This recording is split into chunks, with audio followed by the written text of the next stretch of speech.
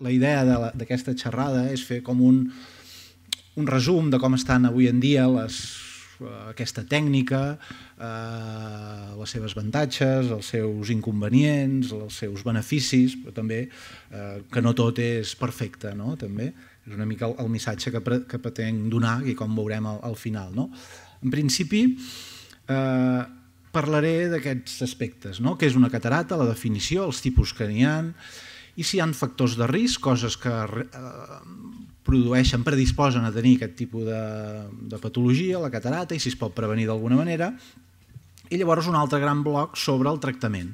El tractament, que bàsicament és quirúrgic, és una cirurgia, eh, com és la tècnica, la, seva, la seguretat d'aquesta tècnica, però també les complicacions que hi han, i un apartat una mica especial sobre les lents intraoculars. Sabeu que, que és algo que a part de treure la catarata, doncs, normalment es col·loca una lent intraocular i llavors hi ha altres tractaments que es poden fer a part de la cirurgia per aquest tipus de, de, de patologia. No?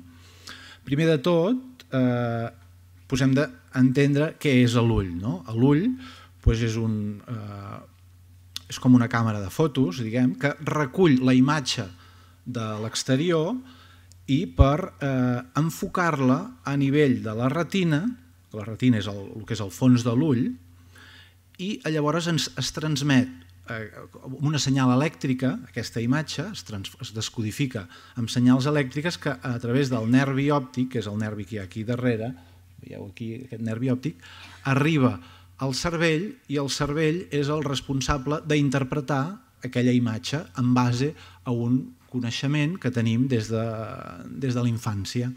No?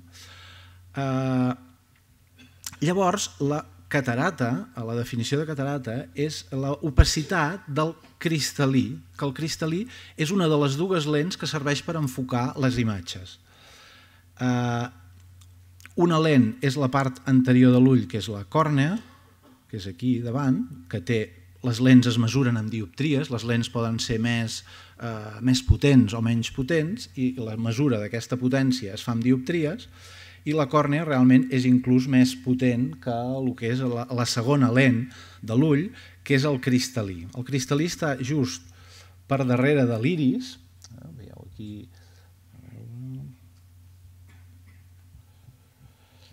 aquí veieu ara aquí amb el, amb el punter, això d'aquí, aquesta peça d'aquí, que és el cristal·lí, és eh, la lent pròpiament dita, de fet en anglès no es, no es diu cristal·lí, sinó que es diu lens, perquè, eh, perquè realment la seva funció és de fer de lent, i té mm, com a, com a potència és la meitat més o menys de potència de la que té el, la còrnea. Llavors, aquesta, aquests, eh, aquestes dues lents la seva finalitat és enfocar les imatges, eh? és enfocar les imatges. Ara, la visió, la visió, o sigui, veure-hi o no veure-hi, no només depèn de, del cristal·lí, sinó que depèn de la suma de totes aquestes coses que hem anat comentant. O sigui, depèn de que la còrnea i el cristal·lí eh, estiguin transparent i, eh, i enfoquin eh, aquella imatge, que la retina capti aquella imatge enfocada eh, per aquestes lents, i aquesta retina transmeti eh, mitjançant una senyal elèctrica eh, a través del, del, del teixit nerviós que suposa el nervi òptic, que transmeti aquesta, aquesta senyal i finalment el cervell integri i comprengui aquesta imatge. Al final de tot això, nosaltres som conscients que, que veiem, veiem una cosa, veiem la, els objectes. Per tant, eh, qualsevol, si s'altera qualsevol d'aquestes d'aquests passos, d'aquests passos intermedis amb què passa la, aquesta imatge, doncs tindrem una mala visió o, o, una, o una absència de visió o una ceguera. Per tant, doncs fins i tot, per exemple, eh, estant tot l'ull bé, perfecte, impecable, pot ser que un pacient estigui sec si, per exemple, el cervell, la part encarregada del cervell de recollir la imatge, doncs no, no funciona, està alterada, com per exemple per un ictus. No? Per, per exemple. Doncs pot ser que un pacient amb un ictus tingui els ulls perfectes, tot estigui perfecte, la còrnea, el cristal·lí, la retina, fins i tot el nervi òptic, i que sigui el cervell el responsable que aquella persona no hi vegi, per exemple. O que la còrnia i el cristal·lí estiguin perfectes i en canvi el nervi òptic estigui atrofiat per, per, no sé, per un medicament, per exemple, o també per una, per un, per un ictus a nivell del nervi òptic, per exemple, o que la retina, per exemple, tingui una degeneració macular i llavors, encara que el, la còrnia i el cristal·lí estiguin perfectes, eh, perfectament transparents, perfectament funcionants, doncs aquell pacient tampoc pugui veure bé les imatges, no pugui llegir. Però bé, avui anem a parlar concretament de, de, de, del cristal·lí, no? de, del cristal·lí i la seva eh, malaltia més freqüent del cristal·lí, o sigui, d'aquesta d'aquesta peça d'aquí, d'aquí de, l'ull, la seva malaltia més freqüent, que és la opacificació, simplement la pèrdua de transparència. Llavors en diem, llavors parlem de que el pacient té una catarata, quan perd la transparència aquesta lent. Com pot ser aquesta pèrdua de transparència? Veieu aquí un ull que està dilatat per, per veure'l, com que està aquesta, aquesta peça, hem vist que estava per darrere de l'iris, de l'iris, que l'iris és el que dona color a l'ull, doncs clar, per veure'l bé, doncs, idealment és millor dilatar aquest iris, que l'iris és com un múscul, un teixit muscular, si és amb, amb, amb, alguna, amb gotes, amb, amb alguns medicaments, amb, amb gotes, es pot dilatar la nineta, aquesta pupila, i llavors accedim per complet a veure la, quasi tota el cristal·lí. No? Si això veiem que hi ha aquestes taques aquí blanques, veieu aquí que hi ha unes taques blanquinoses i tal, doncs ja veiem que hi ha una opacitat. No? Aquest tipus d'opacitat, que és la més freqüent que hi ha en, en patologia del cristal·lí, diguem, aquesta, aquest tipus de catarata és la més freqüent, es diu catarata cortical. O sigui, bàsicament n'hi han de tres tipus, en general. La cortical, que és aquesta, que és la més freqüent, que té aquestes ratlles, aquestes taques blanques, i que de vegades no dona símptomes, aquesta catarata, fins que fins que va avançant, o sigui, va perquè això es, des de que comença fins que afecta la visió pot passar molts anys. Eh?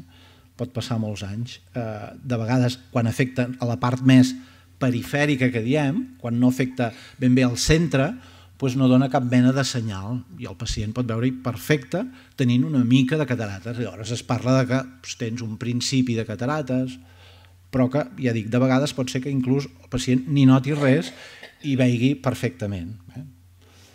En aquesta situació tampoc no aconsellem pas operar, eh? només quan afecta a la visió i el pacient té molèsties, li provoca molèsties. No? L'altre tipus de catarates doncs és aquesta que en diem nuclear. La catarata nuclear és d'un altre tipus. Eh, aquí, per, per veure-la bé, per veure-la bé, no hem de fer una imatge així frontal de l'ull, sinó hem de fer un, un tall de l'ull eh, mitjançant, bueno, mitjançant un, un, un feix de llum, amb els aparells que tenim a la consulta, i llavors es veu que al centre d'aquest cristal·lí, en el gruix que té, el que és al mig, en el nucli, per això es diu nuclear, perquè en el nucli d'aquest cristal·lí veiem que s'ha produït una una opacitat com groguenca, una opacitat groguenca, que sí evoluciona, també va evolucionant a poc a poc, a poc a poc, és de progressió també lenta, doncs aquest groc es va tornant quasi ocre, marró i fins i tot negre. Eh, I normalment el pacient que té aquest tipus de catarata el que presenta és que eh, li apareix com una miopia eh, a mesura que es va madurant, diguem, aquesta catarata. O sigui que eh, el pacient comença a veure miopia és que es veu millor de prop i pitjor de lluny. Això, per tant, eh, com que normalment també passa, les catarates, com ara veurem, un dels factors de risc és l'edat, doncs passa que amb l'edat, a mesura que anem fent anys, eh, el pacient que té aquest tipus de catarates nota que li millora la visió de prop. O sigui que de vegades per algú doncs, inclús pot ser un avantatge. Per què? Perquè sabeu que bueno, a partir d'una certa edat, a partir dels 40-45 anys, comença la vista cansada i normalment es perd vista de prop. Llavors és un tipus de pacient que diu... Pot passar, eh? És un tipus de pacient que diu ah, doncs mira, doncs últimament, els últims anys, ara ja tinc 70 anys, i precisament pues, puc llegir millor ara, sense ulleres, que fa 10 anys, que quan en tenia 60. Això és una, una dels símptomes típics d'aquest tipus de catarates, eh? per exemple. I l'altre, tercer tipus de catarates que hi han és aquesta que es diu eh, subcapsular posterior. Subcapsular posterior és que normalment tenim el cristal·lí bastant, tot ell molt transparent, però en el centre del cristal·lí, i concretament, si fem el tall localitzada, el cristal·lí té un gruix, no? un gruix, hi ha una part com que té un gruix, la part anterior és la que toca a l'iris, o que toca estar més en contacte amb l'iris, i la part posterior és la que toca quasi bé la cavitat vítrea, o sigui, cap a, cap a l'interior de l'ull, doncs aquesta opacitat normalment es concentra, diguem, es localitza a la part més posterior d'aquest gruix que té el cristal·lí. I aquesta catarata sí que és veritat que aquesta dona senyals, qui la té, don, li dona símptomes eh, molt ràpidament, diguem. Potser perquè, bueno, segur, perquè és al centre i perquè eh, normalment també evoluciona més ràpidament. I, per tant, aquest tipus de catarates eh, normalment doncs això, donen senyal abans i, per tant, s'han d'operar més ràpidament, diguem, perquè, a diferència de les altres, doncs la seva progressió és més ràpida. Aquest tipus de catarates normalment el veiem associats amb dos eh, dos tipus de pacients. Els pacients que tenen diabetis i els pacients que prenen cortisona, en general. Tot i que també pot ser amb algun altre pacient que millor no, no és en cap d'aquestes dues situacions, no? però habitualment el veiem amb aquest tipus de pacients. I per tant, poden ser pacients més joves, eh? poden ser pacients més joves diabètics o pacients més joves que per alguna malaltia que hagin tingut hagin hagut de prendre durant temps cortisona. Eh, o sigui, aquests són els tipus, diguem, de catarates. Ara, tots aquests tres tipus també poden ser més, el que hem dit, més al començament, la catarata, o més desenvolupada. No? Per tant, eh, llavors, aquí és on parlem de que una catarata pot ser doncs, un principi de catarata o bé una catarata ja, el que diem, madura. O sigui, o sigui sí, això també podria ser un tipus de catarata, però no, això és un tipus de... Eh, és un grau evolutiu amb la catarata. Eh? Els tipus són aquests tres que hem comentat, cortical, nuclear i subcapsular posterior.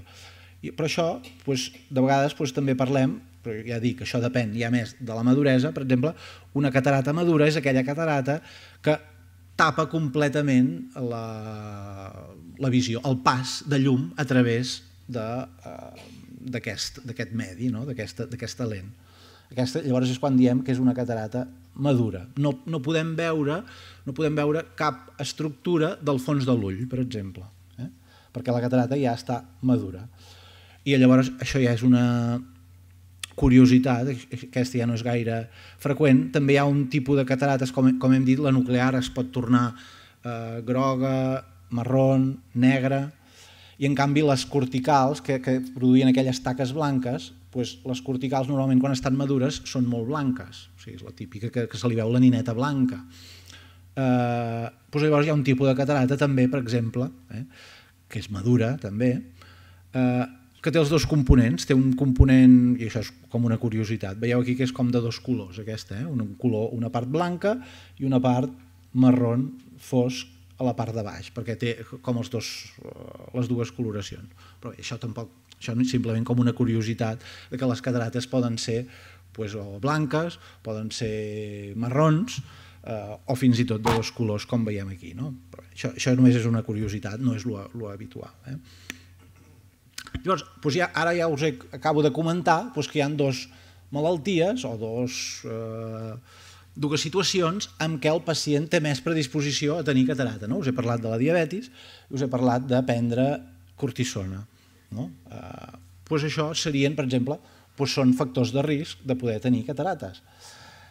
També hi ha catarates, també hi ha nens, infants que poden néixer ja amb catarates, també. Eh, tot i que no és el més habitual. Però sí, i llavors això normalment, quan els nens ja tenen catarates, doncs és perquè normalment hi ha hagut una causa clara que l'ha provocat. No? Normalment són infeccions a nivell de, uh, a nivell de la mare, a nivell ja de, de l'úter, no? de la vida quan estan a la panxa de la mare. No? Com, per exemple, per això és important no tenir o estar vacunada de les noies joves de rubeola, per si es queden embarassades, que no, que no, que no passin la, la rubeola, per exemple, durant un embaràs, o una toxoplasmosis, que és un altre tipus d'infecció, que s'adquireix menjant carn crua, amb els gats, etc. Una infecció que és eh, també el citomegalovirus, bueno, trastorns del metabolisme, que també ho poden provocar, el que hem comentat del sucre, eh? Eh, trastorns del calç, la diabetis que ja hem comentat, i deixant-nos de banda ja les catarates aquestes ja que solen ser més més de la infància o juvenils, doncs també un cop, un cop pot desencadenar una catarata, un traumatisme, eh? també una operació ocular, també, nosaltres, nosaltres mateixos, els cirurgians, com que hem d'operar per algun altre motiu, perquè un pacient ha tingut un desprendiment de retina, que un pacient té un glaucoma, perquè un pacient, doncs això, s'ha fet una ferida i s'ha obert l'ull i s'ha hagut de, de cosir, per, per dir alguna cosa, doncs aquestes cirurgies, el remenar, diguem, a l'ull, el traumatitzar, diguem, a l'ull, també és un factor de, que desencadena, pot desencadenar que la catarata avanci més ràpidament que si no hagués passat això doncs no s'hagués desencadenat tan ràpidament, hagués fet la seva evolució més llarga. No? Eh, doncs això, si hi ha un glaucoma agut, si hi ha una, una uveitis, que és un tipus d'inflamació de l'ull, eh, medicaments, sobretot hem comentat la cortisona, que ho pot produir, eh, radioteràpia, que s'hagi de fer radioteràpia per la zona del cap o el coll, doncs també li pot desencadenar, i altres, hi ha moltes altres possibles causes, eh? però ja no tan freqüents. Per tant, podem prevenir les catarates, o sigui, però eh, principalment, eh, i aquí potser no ho hem dit, lo habitual, diguem, és que les catarates siguin secundàries a l'edat eh, a l'edat. O sigui, fora d'aquests factors, de, el factor de risc més important és l'edat. De fet, es considera que si tothom visqués suficientment anys, tothom tindria catarates. Eh? Potser unes persones els tenen als 50 anys, potser uns altres no els tindran fins als 100, però vaja, en general, en general tothom a partir de, a partir de 80, 85 anys, això, un grau de catarata segur que en tenen. Una altra cosa és que millor tens 85 anys i no t'has hagut d'operar de catarates perquè hi veus suficientment bé, però segurament si tens 85 anys, un grau de catarates segur que el tens. Però llavors ho podem prevenir, això, de que no es formin les catarates? Home, bàsicament eh, ho podem prevenir, evitar aquests factors de risc que coneixem. Prevenir l'edat, eh, això és difícil de prevenir a dia d'avui. Eh? Eh, si es van fent anys, això doncs no, no, encara no s'ha trobat un mecanisme per evitar les conseqüències, diguem, de l'edat. No? Eh, tot i que, bueno, hi ha qui parla de vitamines, etc, però no, no s'ha demostrat que això eviti la progressió de les catarates. Ara, evidentment, el que hem comentat de factors de risc, si es pot evitar prendre cortisona, doncs per al tema de les catarates és millor, però de vegades no es pot, no es pot evitar si es pot evitar haver-te d'operar de l'ull, doncs, eh, doncs, home, eh, millor de cara a no formar catarata. No? Per exemple, qui s'ha de qui supera per no portar ulleres, doncs, bueno, normalment la cirurgia que es fa sobre la còrnia amb làser normalment no es considera que provoqui catarates, o almenys no, no una manera significativa, però qui es col·loca una lent intraocular per corregir la miopia, que també és una forma de, de correcció per no haver de portar ulleres, doncs aquests sí que tenen una, un risc molt elevat de presentar una catarata en pocs, en pocs anys. Eh? Eh, doncs evitar llum ultravioleta en la mesura del possible, també fins i tot s'ha dit la llum blava, que pot, bueno, la llum, bueno, un tipus de... Bueno, la, la llum en general, les radiacions en general poden desenvolupar, com més el cristal·lí més treballa, més llum filtra, doncs més, eh, més possibilitat hi ha de que es desenvolupi una catarata. No? I en principi només això com a factors de risc i, i coses que es puguin prevenir. No? Anem a parlar ja del tractament. El tractament. En principi, i a dia d'avui, eh, qui té catarates, pues, una cosa és que s'hagi d'operar abans o s'hagi d'operar després. Això això és variable, segons, en principi, nosaltres esperem que el pacient tingui símptomes, o sigui, no operem una catarata si no li provoca cap trastorn al pacient. Eh? O encara que tingui algun símptoma, si és molt lleu, doncs tampoc, eh, tampoc cal eh, operar ràpidament. Normalment no és una cosa urgent. Hi ha algunes situacions especials, per exemple, que una catarata provoqui un glaucoma, eh, que la catarata impedeixi veure pues, una, un problema a nivell de la retina, que llavors es pot indicar abans d'hora l'operació de catarates degut a aquests problemes, no? però en general s'espera que el pacient noti que no hi veu, que va perdent vista per operar-se. Però, com dic, doncs és, el tractament és quirúrgic, és la cirurgia. De fet, és la cirurgia que es fa més freqüentment a nivell d'oftalmologia. De fet, fins i tot aquí, a l'Hospital Clínic, que és un hospital que, que, que té patologia que es diu de, més complexa, doncs fins i tot aquí eh, suposa el 80% de les cirurgies que es fan en un any són de catarates. En un hospital comarcal doncs és ja 90-95%. O sigui que vol dir que és la intervenció a nivell d'oftalmologia de llarg més freqüent que es realitza. Uh, I llavors, clar, uh, el tractament és quirúrgic, consisteix en treure la catarata i ara, veiem com, ara veurem com ho fem, no? per treure aquesta catarata, treure aquest cristal·lí.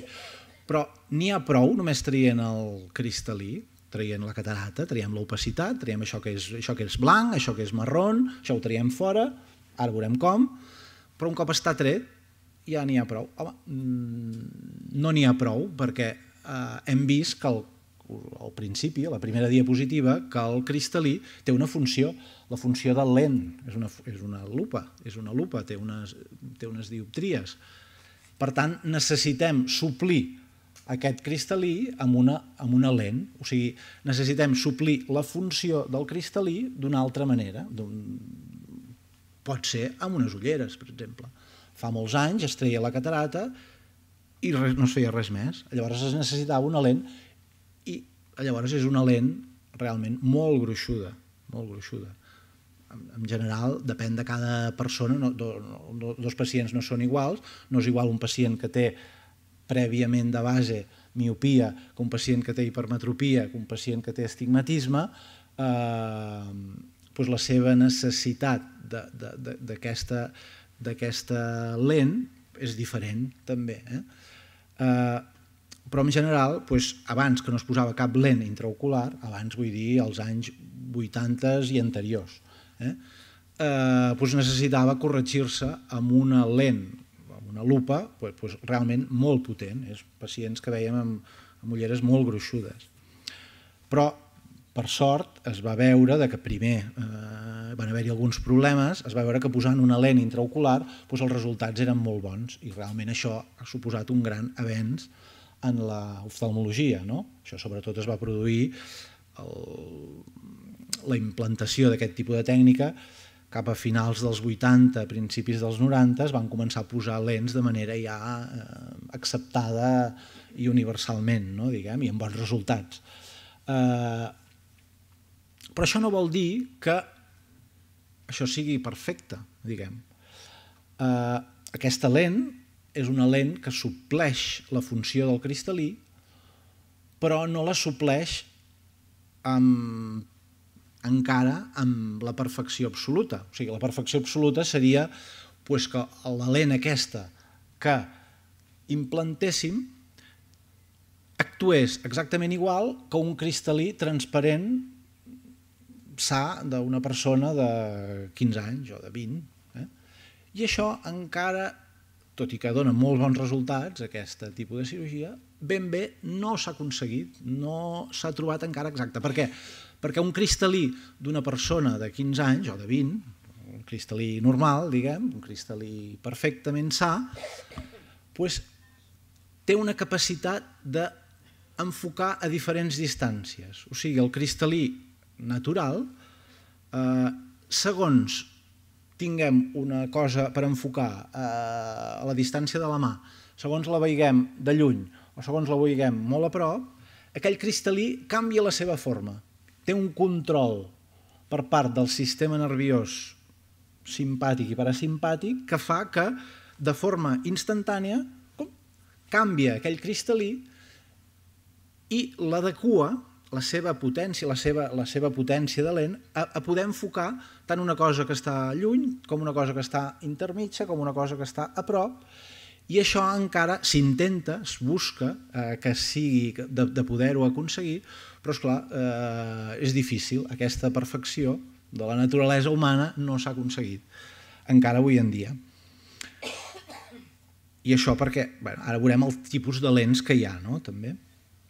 Perquè els tipus de lents que hi ha doncs, no, no poden... Eh, clar, ja dic, un cristal·lí humà és com si tingués 50 lents, o sigui, en un moment determinat posa una lent, un moment determinat posa una altra, perquè és una lent elàstica, diguem, és una lent dinàmica, eh, diguem.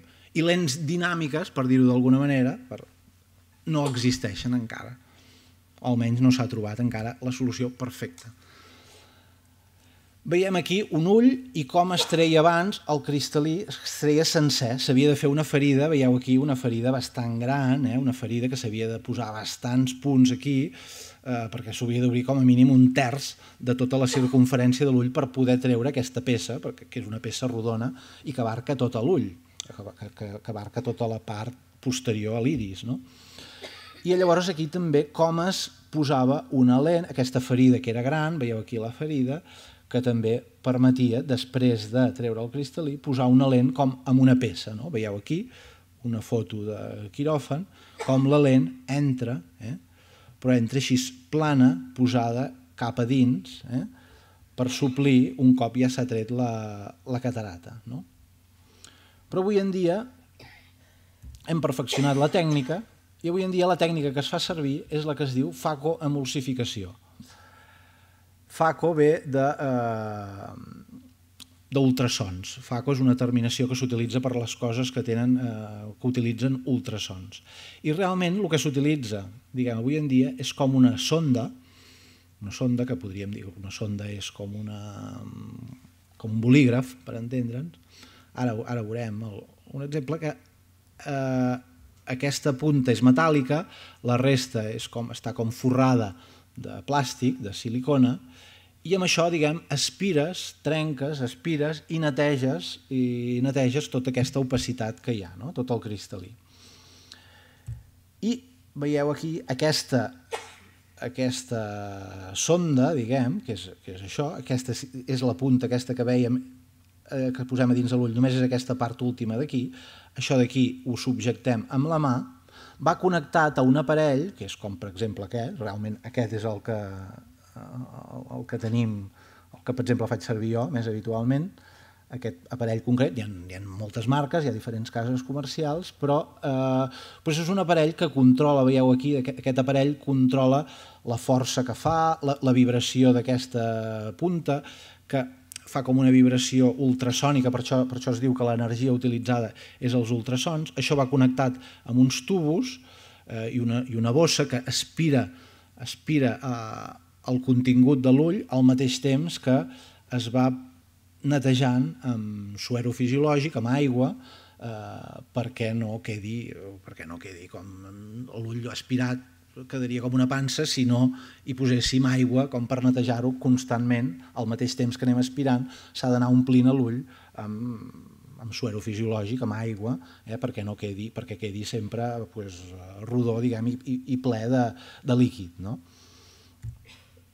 I la tècnica que utilitzem doncs, normalment és aquesta, consisteix en posar aquest, aquest llapis eh, a dins de l'ull, fer com uns, uns solcs, eh, fer, eh, i, i aquests, a partir d'aquests solcs, eh, que pot ser fer una creu o no cal que sigui una creu, eh, trencar-ho en diferents parts, eh, trencar-ho en diferents parts i, eh, i anar-ho aspirant, veieu el de baix a la dreta, que es va trencant i aspirant, no? com ara veureu.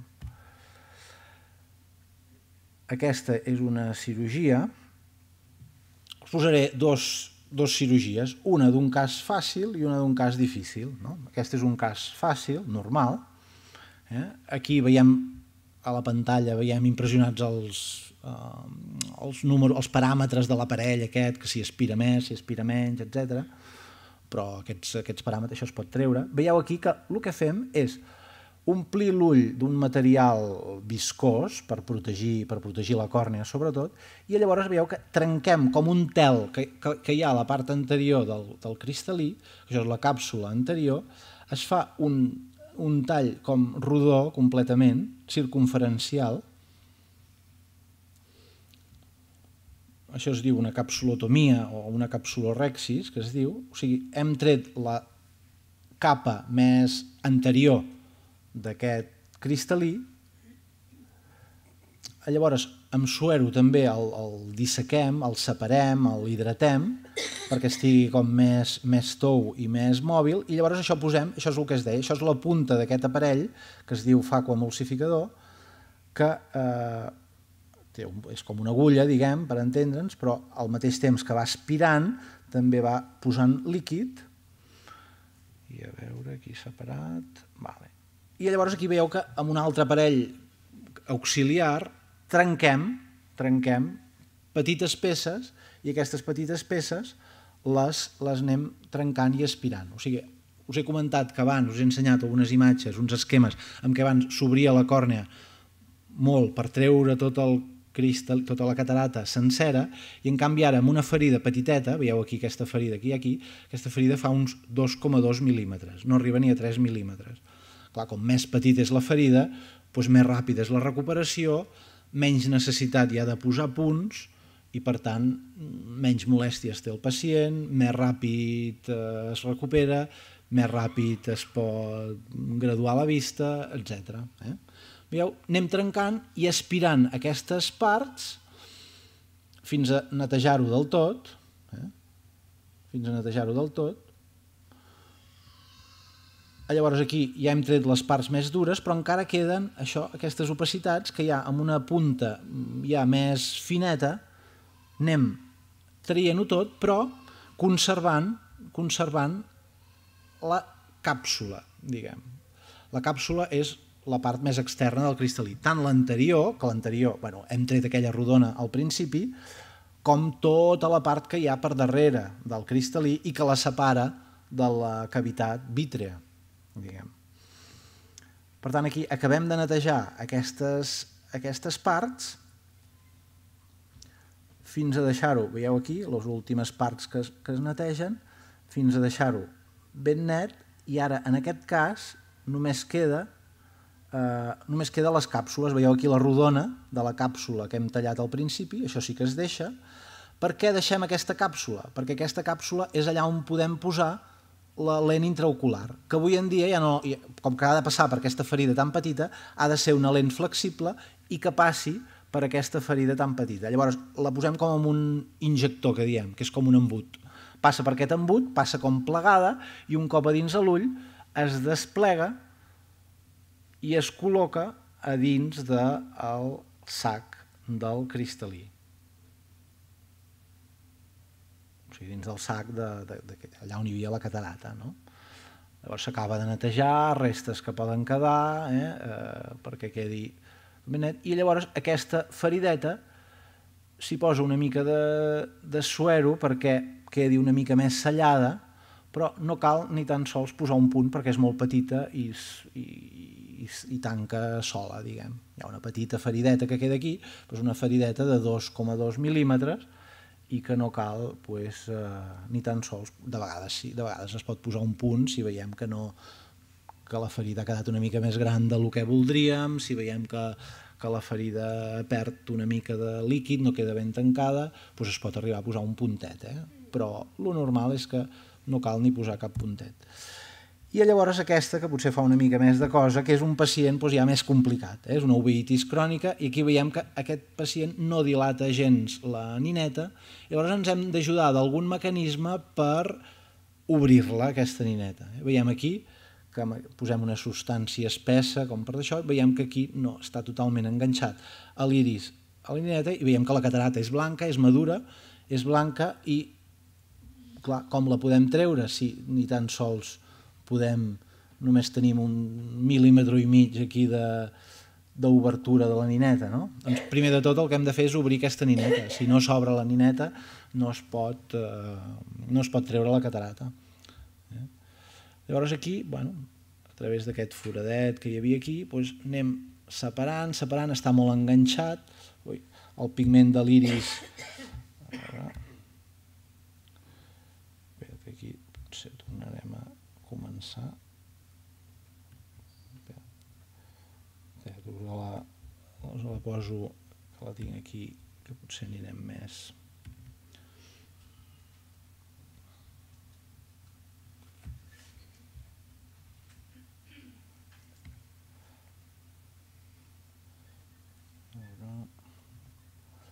Primer s'ha de, de separar aquestes adherències que hi han entre la catarata i l'iris. Això sempre és, un, és, sempre és més traumàtica. Clar. Hi ha catarates doncs, que són com aquesta, que és complicada, i d'altres que són més senzilles, com la que hem acabat de veure. Primer separem, separem les adherències que hi han, després sempre... Eh, després hem de posar com uns ganxets perquè tot i haver separat, no, l'iris no reacciona als medicaments que dilaten la pupila. Llavors posem com, com una espècie de ganxets, veieu aquí quatre ganxets com per separar eh, eh, mecànicament aquesta nineta. Llavors posem també com un colorant blau, perquè quan la catarata és blanca, per fer aquella aquella circunferència, per trencar la càpsula de forma circunferencial, no ho, no ho veuríem bé. Al ser tot tan blanc, la càpsula, al ser transparent, no la veuríem. Llavors el que fem és tenyir-ho de color blau, una tinció especial per, per ull, i llavors aquí podem veure millor, aquí la pinça com es va trencant aquí, aquí veieu com es va trencant aquesta, aquesta càpsula, aquí es va trencant i finalment aquí dalt no sé si es veu gaire bé aquí i bueno, això ajuda a poder fer aquesta maniobra no? aquesta maniobra quirúrgica bueno, eh, el blau permet veure-ho millor i després veureu ara com que veieu aquí, ara es veu molt millor com, com es va trencant la càpsula de manera circunferencial gràcies a que està tenyida de color blau. No? Després fem la catarata normal, vull dir, amb el, amb el mateix aparell que abans, eh? l'anem trencant, l'anem aspirant, l'anem netejant i encara queden aquests restes.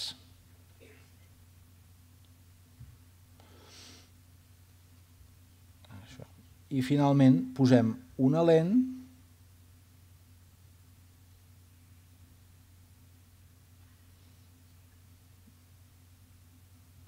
comprat tenia aquell i així es queda finalment clar, com, que, com que aquesta nineta estava d'això doncs queda una mica ovalada, queda una mica deformada però veieu que està completament transparent el que és el, el centre i permet recuperar, si no és que té algun altre problema en algun altre nivell, doncs permet recuperar eh, doncs completament o parcialment la visió que tenia. Eh? Les lents intraoculars. Veieu que el tamany d'una lent, doncs clar, és una lent que va dins de l'ull, és un tamany que té, doncs és més petit que el dit, de, que, que, el, que la part del dit, no? que la part distal del dit. Veieu aquí com, bueno, hem vist com s'introdueix i on queda situada la lent, veieu, és dintre d'aquest sac, hem netejat tot lo de dintre i aquí queda col·locada eh, la lentilla en el lloc on estava abans el cristal·lí.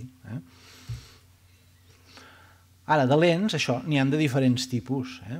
Tenen diferents dissenys, poden tenir aquests que hem vist ara, que tenen com una forma com aquesta d'aquí baix, eh? com una forma de, de dos, eh? amb un braç en un sentit i amb un braç cap a un altre, poden tenir com unes orelletes, poden tenir aquests braços diferents. Els braços, de fet, no donen estabilitat, però lo important és l'òptica. L'òptica és la part del centre, és la part rodona del centre. Això és el que dona és el que dona doncs, l'enfoc, no, diguem.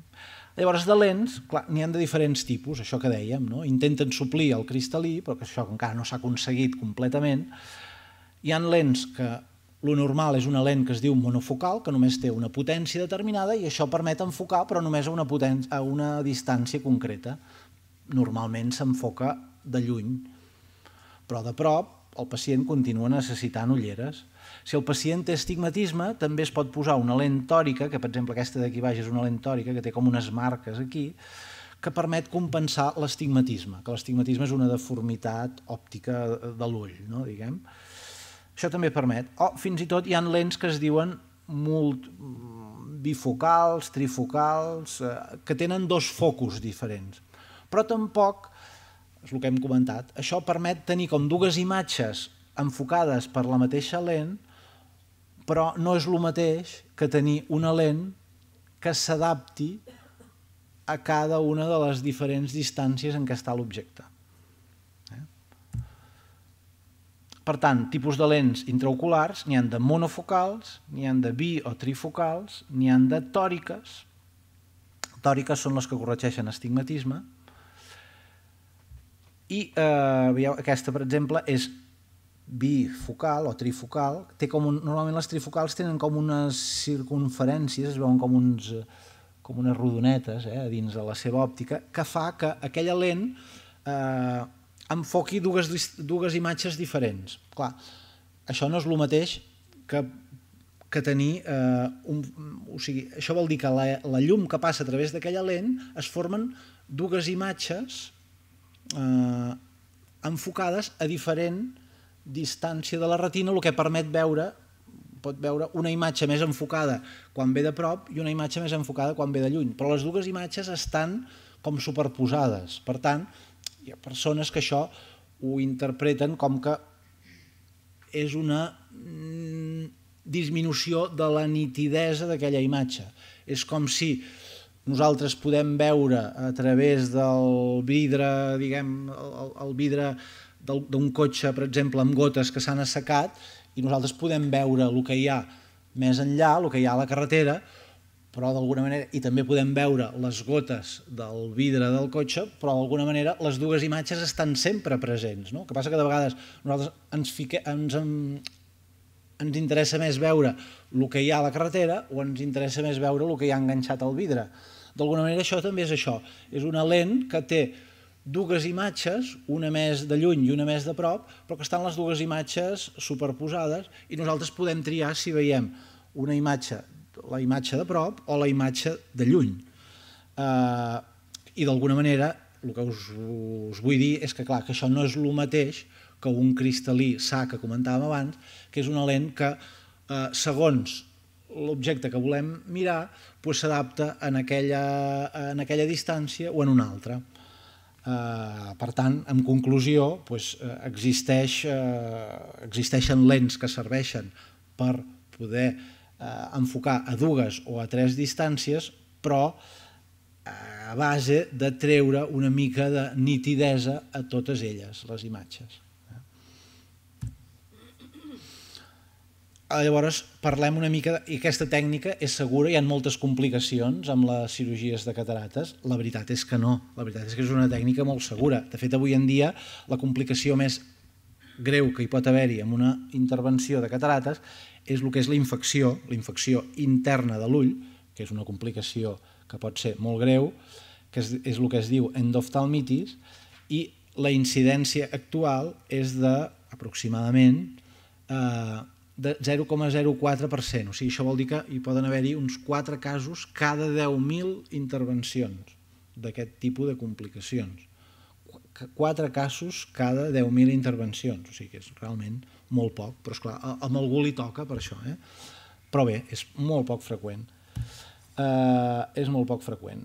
Uh, una altra cosa més freqüent, que pot ser d'un 1, un 10 a 10 persones cada 100 és que tinguin un edema macular. Un edema macular fa que la visió no, no sigui prou nítida perquè la màcula que està a nivell de la retina s'inflama a conseqüència de la manipulació de la ferida a la còrnea, de la, del, del treure, trencar eh, la part del cristal·lí, tot allò, doncs, alguna inflamació genera dins de l'ull i això de vegades provoca que s'acumuli líquid a nivell de la màcula, a nivell de la retina, i això fa que la visió sigui una mica borrosa, però normalment això amb gotes, amb tractament, o alguna persona arriba fins i tot a necessitar alguna injecció intraocular, algú que no se li millora espontàniament, doncs normalment és una complicació lleu perquè es pot solucionar o s'acostuma a solucionar.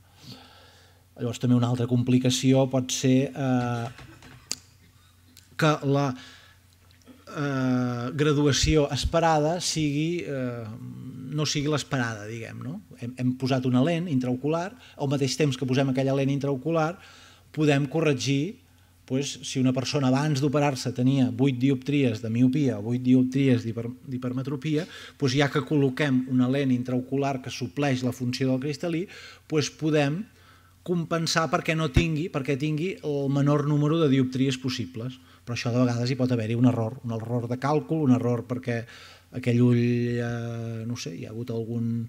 No, no, els, els càlculs fets no han sigut prou precisos per aquell ull, que els càlculs estan basats pues, en unes fórmules, eh, unes fórmules calculades en base a una sèrie de, de paràmetres que de vegades en alguna persona pues, mm, no es compleixen i llavors hi pot haver-hi pues una, que aquella persona no tingui la graduació esperada que hauríem desitjat. No? Però bé, això en tot cas és un problema, però és un problema òptic, no, no és una complicació eh, greu, diguem. No?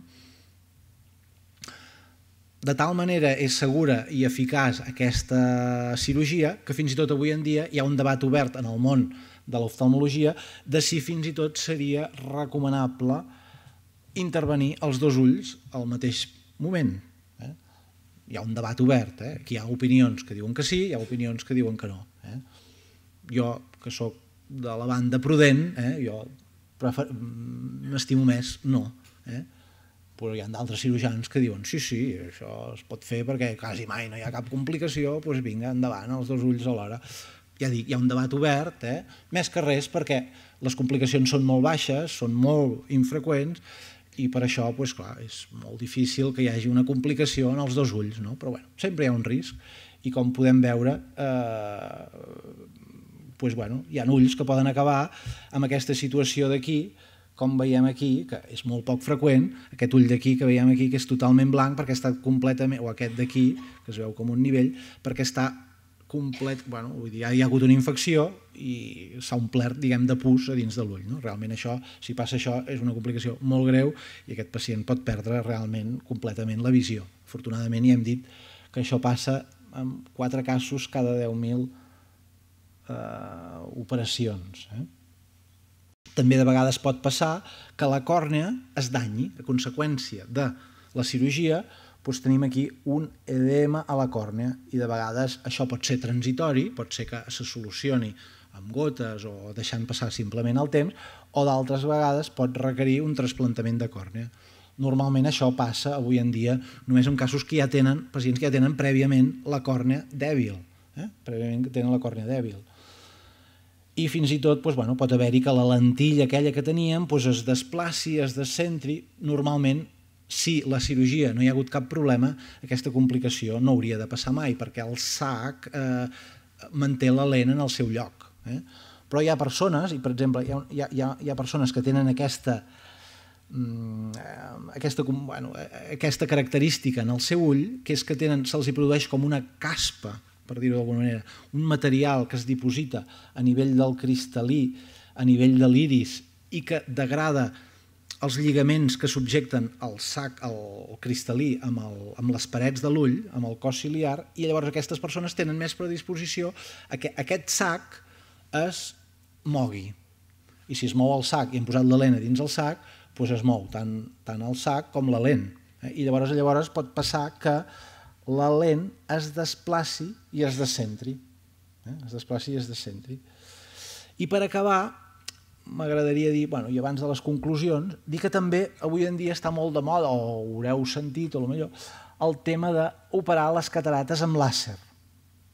S'operen les catarates amb làser, ja dic, normalment es fan amb aquell aparell que hem dit que és molt eficaç, molt segur, que és el, el que heu vist, l'ultrasò, però avui en dia cada vegada hi ha més aparells com aquests tipus que hi han aquí, que són làsers que es diu làser de femtosegons, perquè de làsers n'hi ha de molts tipus, podria, es podria fer una, una conferència només de tipus de làsers que s'utilitzen en oftalmologia, eh, doncs és un tipus de làser que realment pot tallar amb molta precisió. I llavors, mmm, cada vegada, la veritat és que cada vegada hi ha més, eh, més tendència a utilitzar aquest tipus de làser per fer determinats passos de la intervenció de catarates que hem vist. Quins passos es poden fer amb, aquest, amb el làser? Doncs es pot fer la, el tall aquell circunferencial que hem vist de la càpsula es pot fer amb làser, el tall que hem fet a la còrnea de 2,2 mil·límetres es pot fer amb làser, fer, fer uns talls, partir com si fos un pastís en diversos trossos es pot fer amb làser i pràcticament res més. Llavors, què vol dir? Que amb làser es poden fer una, unes parts, uns passos d'aquesta eh, d'aquesta intervenció.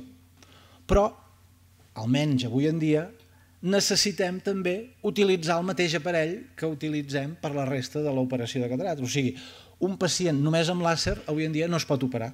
O sigui, si cas es necessita operar amb làser i a més a més amb els ultrasons que hem vist abans. O sigui, es pot fer una primera part de la intervenció amb què es prepara a l'ull la catarata amb el làser i després s'ha de portar al mateix lloc, amb el mateix aparell que faríem servir si no utilitzéssim el làser, per acabar de treure la catarata i per posar una lent intraocular, que al fi del cap no es tracta només de treure la catarata, es tracta també de posar una lent intraocular. Per tant, mmm, jo hi veig poques avantatges i en canvi hi ha molta pressió comercial o de màrqueting amb què em dic que, aquesta, que, les, que el làser pues, ofereix més seguretat amb aquest tipus d'intervenció. En general, la meva opinió és que si, si una persona està ben entrenada, eh, no, o sigui, un cirurgià està ben, té, té prou experiència, el làser a dia d'avui li ofereix ben poca cosa, perquè li fa unes, unes parts de la cirurgia que igualment o sigui, no, no t'estalvies d'haver de posar en el mateix aparell i haver d'utilitzar el, el mateix aparell que, que si no utilitzessis el làser, per tant, encareix molt la, la intervenció, perquè és clar aquest aparell doncs, val milions d'euros, i en total per fer unes, unes parts que es poden fer manualment i que, bueno, algú diu, sí, però el làser les pot fer més precises que amb la mà bueno, eh, potser sí, potser no, però també pot ser, de vegades el làser, si l'ull es mou una miqueta, el làser ja no pot actuar, i potser estàs 20 minuts perquè l'ull es quedi fixe i, i, i si l'ull no està fixe, el làser no actua o el làser actua també malament i també hi ha hagut complicacions a conseqüència d'utilitzar el làser per aquest tipus d'intervencions. Per tant, Bé, i també un últim apunt, però això, això sí que és una curiositat, que en la revista Nature, per exemple, es va publicar ara l'any passat, a mitjans de l'any passat, pues que un grup d'investigadors japonesos havien trobat que eh, pues, bueno, una, un producte químic, lanosterol, que amb determinades famílies que tenien catarates congènites els hi frenava o fins i tot els hi revertia algunes opacitats d'aquestes blanquinoses que eh, que tenien les catarates. Per tant, bueno, ja s'estan investigant també alguns productes, però encara no, encara no són una realitat. Eh? I, però podria ser que millor a la llarga hi hagi algun producte que retraci o previngui l'aparició de les catarates. Per tant, i com a conclusions, què és la catarata? La catarata és una opacitat del cristal·lí, que normalment és progressiva amb l'edat. La cirurgia es fa amb aquest aparell que en diem facoemulsificador, que utilitza ultrasons, és eficaç i segura. El làser de femtosegons, al meu entendre, encara no ha demostrat millors resultats que la tècnica eh, convencional i que, a més a més, és una, el làser només serveix per unes parts de la cirurgia i que les lents intraoculars permeten corregir eh, el de, els defectes d'ulleres de, que, que pot tenir els pacients, que supleixen la funció del cristal·lí, però la supleixen però no la igualen. Eh? I això és tot. Moltes gràcies.